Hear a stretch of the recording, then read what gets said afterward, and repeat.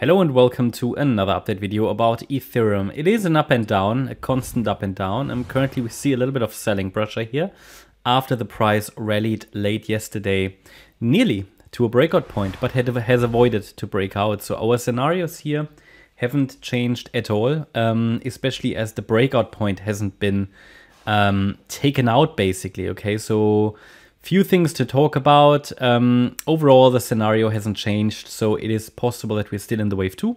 Have to consider that, especially this weakness here, um, at least makes us consider that, even though that's not enough to say that this is a high B wave. Okay, so let's talk about the bullish and the bearish structure so that you understand the key breakout points, the support levels that now need to hold, the invalidation points for each scenario. First of all, um, we've had a rally yesterday. Bitcoin rallied, Ether rallied, some altcoins rallied. Nothing significant, but Bitcoin actually made a new high. So Bitcoin seems to be the strongest one of those at the moment. Um, obviously, there are exceptions. There are others that are a bit stronger, but overall, Bitcoin still leads to uh, seems to be leading the way right now. Um, Ether, however, yeah, is basically just still in this ongoing sideways range, as you can see. So we're just watching for um, potential five waves to the upside. At the moment, they are not visible yet. As you can clearly see, the last rally was also just in three waves. What does it mean? A three-wave rally doesn't give us a very good understanding of the trend. So it means that the trend could still be down. Okay, so it has certainly not given um, us a very clear uh, breakout, uh, yeah, confirmation. What do we need to see? So what's the short-term bearish scenario? That is pretty much unchanged, even though I would actually like to adjust the structure a little bit. This looks increasingly messy. So what we'll do, um, I still would think that in the white count, this is a diagonal pattern in wave C of Y. But um, let me just adjust this, or let me... Yeah, let's keep it an ending diagonal, but the structures have changed because it looks out of proportion. So best I can say or best I can tell is that this could be a 1-2 setup where the 1 is an ABC structure, the wave 2 is an ABC structure. It basically reacted here to um, probably a standard resistance. Yeah, wow, it reacted to the 78.6 retrace. So, I mean, let's see. I mean, this is at the moment still um, a valid scenario that we come down lower as we intention uh, as we as it was our intention. Okay, and to be honest, here on the ETH chart, we haven't even had a breakout. Bitcoin gave us a breakout, but also on the Bitcoin chart, the structure is very, very prone to being yeah, affected by surprises. Okay, so it's not an impulse that's moving, so we can't trust it.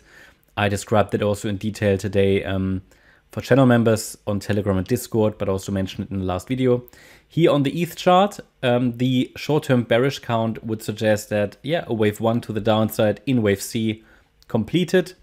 The wave 2 to the upside might have completed.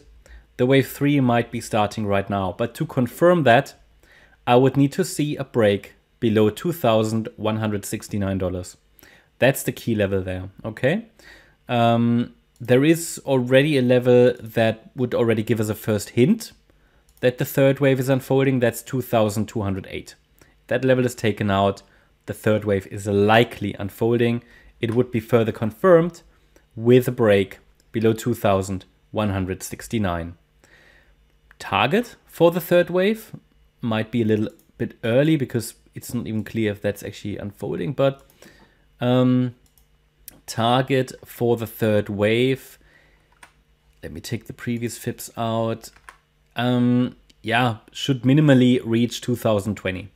Okay, so that could comfortably send us into the green box. Let's see if this is playing out.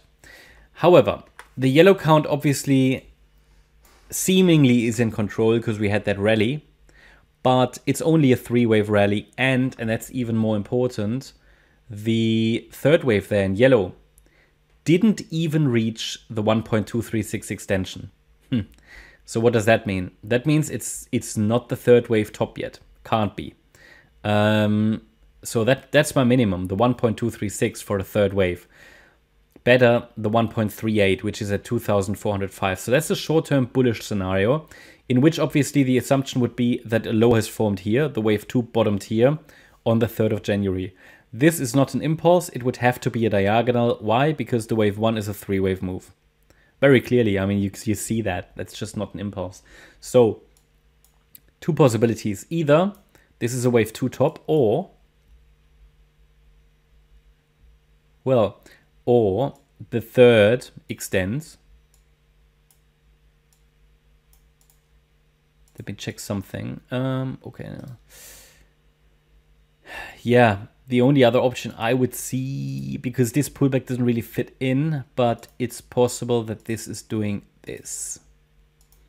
I just added as an idea. And as support for the B wave, yeah, because a third wave would also be an ABC structure. Um, as support for the B wave, I already highlighted to you. I just gave you that support level, the orange box. Support is 2000, yeah, 2209, $2,210. A sustained break below that would suggest that the yellow B wave is probably going to get invalidated and it will be invalidated with a break below the um, yellow wave 2 and then white wave 3 is likely unfolding. That is basically what we're watching right now. Um, I'm quite neutral about them. Yeah, Bitcoin already broke out, but also Bitcoin needs to prove it by holding support. So yeah, important is as well that actually um, I highlighted to you that really we can only start to lean towards the yellow wave count once we see first of all a break above the green line because that's the previous high at 2391 but even more important a break above that um, December high it is at 2445 so if we if the price holds a B wave support and if we see that rally above the December high, then I will lean towards yellow. And we would be looking at, uh, well, this would have to be, this would have to be wave one of a larger third wave that can take us to $3,000 and beyond. But this would have to be the first wave of that third wave. After that first wave, we should get another corrective pullback that could be used to find positions. Yeah. Okay. That's my update about ETH. Hope you liked the update. If you did, please hit the like button, leave a comment and subscribe. And if you're interested in daily updates about the S&P 500, as well as regular updates about stocks, check out our S&P 500 and stock service. Link is in the description. Also, check out our crypto membership. You can also find the link in the description. Thanks a lot for watching. Bye-bye.